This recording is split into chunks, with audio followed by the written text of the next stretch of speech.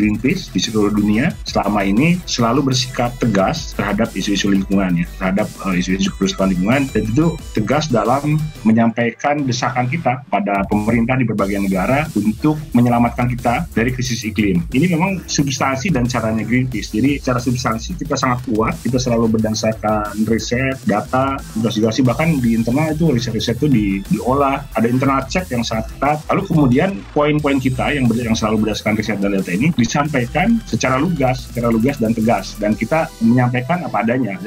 Itu itu mungkin yang ciri khas uh, Greenpeace sehingga misalkan di Amerika Serikat pada saat Donald Trump dan sekarang pun di berbagai negara, di banyak negara ya saya kira di, di Greenpeace di banyak negara itu kita melakukan hal yang sama.